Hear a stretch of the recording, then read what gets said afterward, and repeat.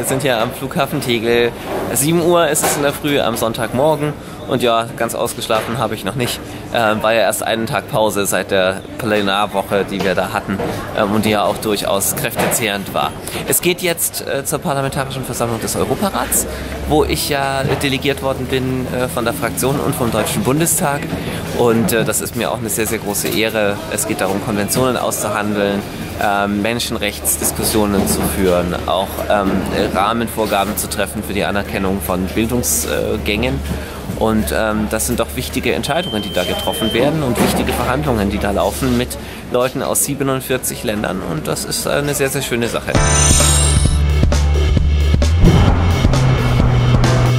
So, hallo, wir sind jetzt gerade im ICE nach Karlsruhe, steigen dann nochmal um nach Straßburg und ich habe hier meinen Computer schon aufgemacht. Es soll wohl neue Mails geben, wo die Regierung uns einige Dokumente rübergeschickt hat über Einschätzungen der politischen Lage, beispielsweise mit gewissen Ländern. Ähm, darüber darf ich nichts erzählen, das sind alles Verschlusssachen. Ähm, und die werde ich jetzt mal auf dieser Fahrt durchgehen, mal gucken, ähm, was da die Meinungen sind. Ich werde mir dann ein eigenes Bild natürlich von der Lage machen, äh, um dann kompetent die Verhandlungen und die Gespräche an den folgenden Tagen gehen zu können.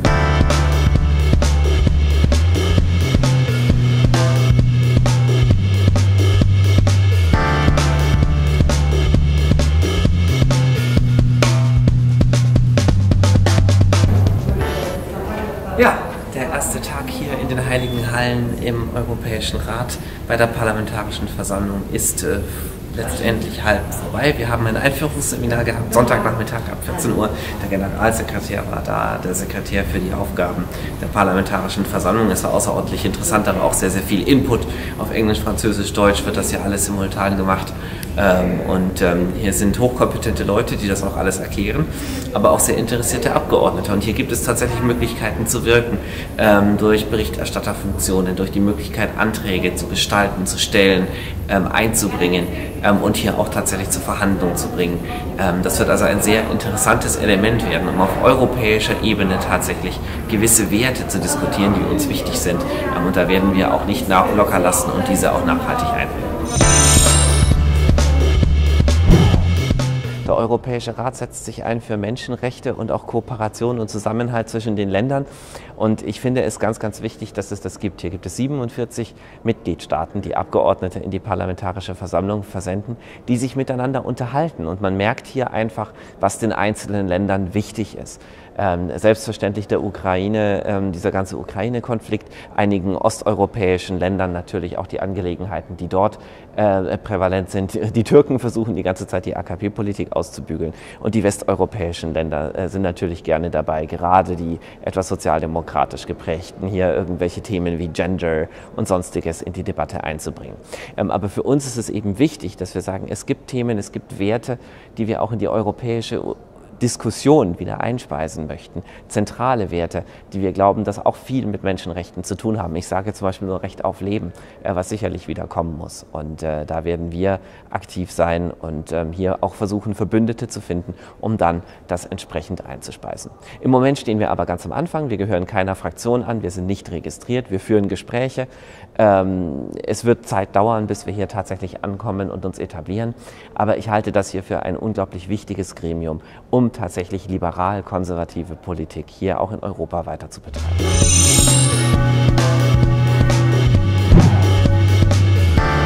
Mon nom est Norbert Kernüchter, je suis député de l'AfD en Allemagne. Ja, ich stehe hier auf dem Münsterplatz in Straßburg direkt vor dem großen Münster in dieser Stadt, die so viel Geschichte erlebt hat, so viel deutsch-französische Geschichte, so viel Auseinandersetzung, so viel Wechsel, auch so viel Nationalismus und darunter gelitten hat. Und an dieser Stelle möchte ich nochmal ganz klar eine Nachricht äh, für Europa senden, eine äh, Nachricht hier aussenden, die es wirklich zu beachten gilt. Ich glaube, es ist wirklich ganz wichtig, in diesem Moment noch einmal auszudrücken, dass es keinerlei Absichten gibt, hier einen großen Nationalismus zu betreiben, irgendwie Landesgrenzen wieder übermäßig zu betonen und irgendwie zu sagen, der eine ist doof und der andere ist besser. Ähm, darum geht es überhaupt nicht. Es geht um eine gute Zusammenarbeit in Europa der Länder untereinander. Es geht um Frieden und um Freundschaft. Und wir glauben nicht, dass dieser Frieden und diese Freundschaft durch eine Zentralisierung erreicht werden kann, durch das Abgeben von Souveränitätsrechten nach oben, durch eine Art Zentralregierung, wie sie die UdSSR fast schon kannte. Ähm, äh, das bringt überhaupt nichts. Das wird nämlich früher oder später zu Auseinandersetzungen führen, die diesen Frieden und die Freundschaft, die wir ja eigentlich erreichen wollen, gefährden und verhindern werden.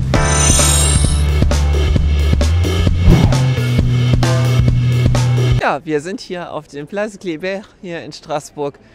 Hier gibt es direkt so einen Büchermarkt. Ähm, das ist ja auch typisch französisch, wo man sozusagen, wir können da gerne mal drüber streifen, hier französische Bücher halt irgendwie kaufen kann, die reduziert sind, da gebraucht. Und das wird immer von den Franzosen sehr gut angenommen. Ähm, das ist wirklich noch eine Teil, ein Teil der Kultur ähm, äh, den es in diesem Land gibt, dass man sehr viel liest, äh, dass man in solchen äh, äh, Märkten eben auch Bücher einkauft, was wir in Deutschland eher weniger äh, noch kennen. Und äh, ich finde das eigentlich immer sehr schön und ich fühle mich auch als Literaturwissenschaftler insgesamt sehr wohl auf solchen Sachen. Und im Moment komme ich allerdings ein bisschen zu wenig zu lesen mit der Politik, das muss ich auch gestehen. Also weder deutsche noch englische noch französische Bücher, äh, weil ganz einfach ganz oft irgendwelche Texte zu lesen sind und äh, äh, Vorbereitungen zu treffen sind. Und ich schreibe fast mehr Texte, als dass ich welche lese. Ähm, beziehungsweise ich lese vor allem, wenn dann Zeitungsartikel, also Geschichten eigentlich kaum mehr, aber vor allem eben Sachtexte äh, und Zeitungsartikel und Reportagen und sowas, weil man ja politisch auch am Ball bleiben muss. Und das ist mir natürlich erstmal wichtiger, als hier nochmal mich in die Literatur einzuarbeiten. Ja, ähm, Place Kléber habe ich gerade auch gesagt, das ist auch eine relativ interessante Geschichte hier, wer Kléber überhaupt war. Das war so ein Militär, äh, eine Militärperson faktisch aus äh, der Revolutionszeit hier in Frankreich und da hat dann auch mal gegen Österreich und Preußen äh, gekämpft und das war natürlich und dann auch mit Napoleon in Ägypten und das ist genau sozusagen eine Person, die hier aber auch noch in Frankreich überall verehrt wird äh, aus der Zeit des, des, starken Nationalismus, auch aus der Formierung der französischen Nation natürlich. Ne? Und ähm, gut, dieser Nationengedanken, den gibt es natürlich immer noch. Ähm, der ist äh, noch weit verbreitet. Und er ist auch insgesamt eine mittlerweile wichtige Einheit geworden. Denn was diese Nationen getan haben, das war ja auch hier in Frankreich deutlich ersichtlich, ist, dass wirklich Dinge sozusagen in eine Art französische Form gegossen wurden. Also es wurde tatsächlich, es wurden Minderheitensprachen von Napoleon bekämpft ähm, und das Französische wurde überall durchgesetzt, nicht wahr? Ähm, und so bildete sich zum Beispiel eine relativ einheitliche französische Kultur. Ich sage relativ, weil das ist ja nie immer ganz, aber eine relativ einheitliche französische Kultur heraus. Aber gerade hier im Elsass gibt es eben auch die Tatsache, und das sehen wir hier auch schön an diesen Geschäften hier, haben wir eine wunderbare eine Parfümerie, äh, während wir auf der rechten Seite haben hier Fischer Brasseur, Alsace, Bierstube Le Schluch. Ähm, und an dieser Stelle zeigt sich sehr, sehr deutlich, wir sind hier im Elsass. Das ist letztendlich ähm, ein Gebiet, das tatsächlich relativ gleichberechtigt Deutsch und Französisch ist ähm, und auch entsprechend so entstanden äh, ist. Und äh, das war auch ein großes Thema beim Europäischen Rat, als es äh, am Montag darum ging, Minderheitensprachen zu stärken. Ähm, also sozusagen zu sagen, was machen wir denn mit Minderheiten und welche Rechte haben Minderheiten denn? Äh, das auszudrücken oder, oder, oder ihre Sprachen zu sprechen, die sie letztendlich als Muttersprache gelernt haben. Und da sind wir nämlich genau in diesem Zwiespalt zwischen dem Nationalstaat, der natürlich ein gewisses Interesse daran hat, zum Beispiel, was weiß ich, die Landessprache durchzusetzen, sei es jetzt Spanisch oder Französisch oder Russisch oder Deutsch, äh, und der Minderheitensprache, die natürlich auch bewahrt werden sollte und nicht aussterben sollte, weil sie ein wesentliches Kulturgut ist. Und äh, ein Grund, der uns auch ein bisschen gegen diese supranationalen Tendenzen äh, wenden lässt, der ist einfach, dass wir sehen, naja, alles, was sozusagen auf eine noch höhere Ebene äh, verschoben wird, äh, lässt dann unten auch gerne mal die Sachen erodieren. Und das wollen wir nicht, sondern wir wollen regionale Traditionen Traditionen und regionale Sprachen und dann eben auch Minderheitensprachen erhalten. Und gerade das Elsass als doch sehr europäische deutsch-französische Gegend zeigt eigentlich, wie wunderbar das funktioniert, dieses Nebenher aus Französisch, aus Deutsch und aus Elsässisch, dem elsässischen Dialekt, ähm, äh, der sich hier überall zeigt. Diese Mischung zeigt sich hier wirklich tatsächlich überall. Wie wunderbar das funktionieren kann, wenn man sich einander eben mit Respekt äh, begegnet. Bonjour madame, deux crêpes s'il vous plaît. Ah, qu'est-ce qu'on peut faire ben, une. Euh... Moi, je prends une euh... crêpe à la crème marron.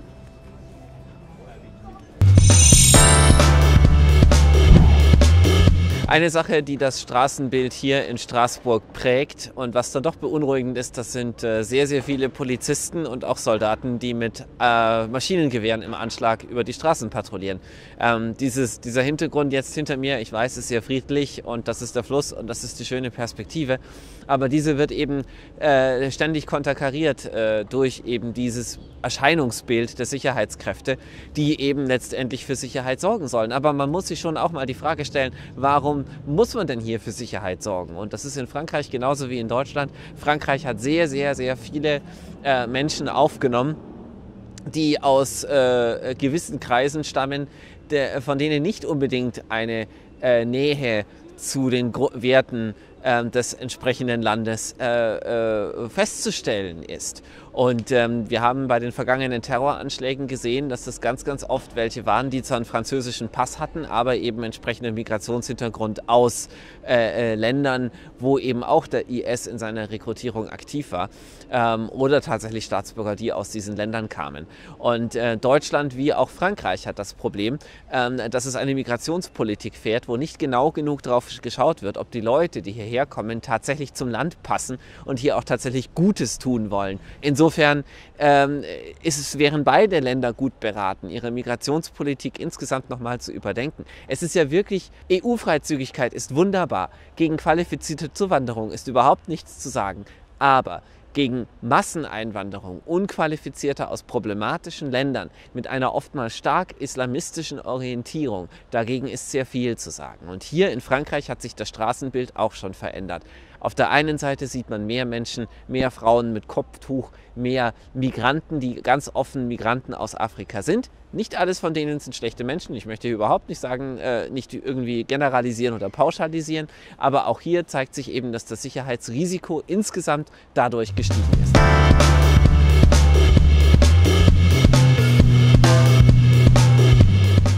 Halben Stunde geht der Flug zurück nach Berlin von Basel. Aktuell bin ich da in Basel am Flughafen, denn so toll sind die Verbindungen nicht nach Straßburg.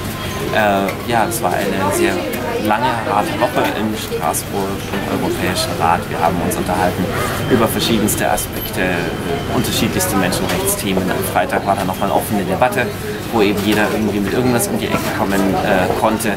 Ganz viel wurde da diskutiert über die Situation in der Türkei, aber auch relativ viel über die Situation in Armenien, Aserbaidschan ähm, und auch Russland ähm, Ukraine, Krim. Ähm, das sind also Themen, die da noch ganz, ganz äh, oben auf der Tagesordnung stehen in diesem Europäischen Rat äh, und äh, seiner parlamentarischen Versammlung.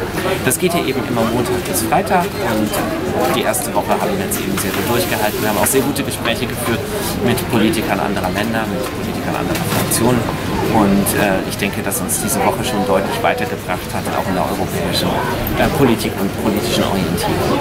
Insofern war das eine erfolgreiche Woche, ähm, auch wenn wir sozusagen als Abgeordnete noch nicht so besonders aktiv waren. Wir haben zum Beispiel keine Rede angemeldet, das muss man nämlich immer Wochen vorher machen und wir sind ja erst gerade mal eine Woche gewählt. Ähm, also wir sind, haben keine großen Redebeiträge angemeldet und auch keine Änderungsanträge gestellt, sondern haben das jetzt erstmal relativ passiv eben mitgemacht, aber mitgestimmt und äh, da dann entsprechend auch politische Entscheidungen mitgetroffen. Es war eine gute Woche und ich freue mich auf das nächste Mal hier in Straßburg bei der Parlamentarischen Versammlung des Europäischen Rates.